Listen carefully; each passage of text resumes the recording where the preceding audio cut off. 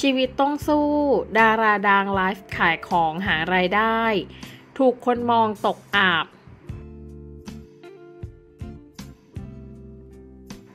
อดีตนักชกฮีโร่เจ้าของเหรียญทองค่ะ คุณสมจิตจงจอหอ ที่ปัจจุบันเจ้าตัวนอกจากจะรับงานในวงการบันเทิงแล้ว ตอนนี้ค่ะก็ต้องปิดยิมมวยที่ปากช่อง เพื่อทุ่มเทเวลาเพื่อดูแลภรรยาที่ป่วยเป็นโรคพุ่มพวงหรือโรค SLE ควบคู่ไปกับการไลฟ์สดขายของ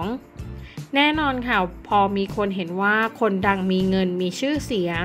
มานั่งไลฟ์สดขายของบ่อยๆ ก็จะมีคอมเมนต์ถามว่าตกอับหรือเปล่า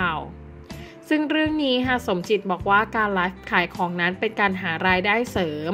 ซึ่งว่างจากงานบันเทิงก็ไปขายใน TikTok แล้วก็มีคนมาเอฟมาซื้ออยู่เรื่อยๆ ส่วนเรื่องคนที่มองว่าตกอับ ก็มองว่าเป็นเรื่องของเขา คนเกรียนเยอะอยู่แล้ว เราขอโฟกัสที่งานดีกว่า การไลฟ์ขายของสนุกนะ มีความสุขที่เราได้ขายของ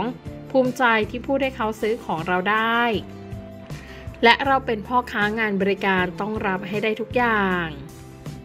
ซึ่งงานนี้ค่ะต้องขอชื่นชมคุณสมจิตเลยว่า เป็นหัวหน้าครอบครัวที่แข็งแกร่งมาก ๆ เลยทีเดียว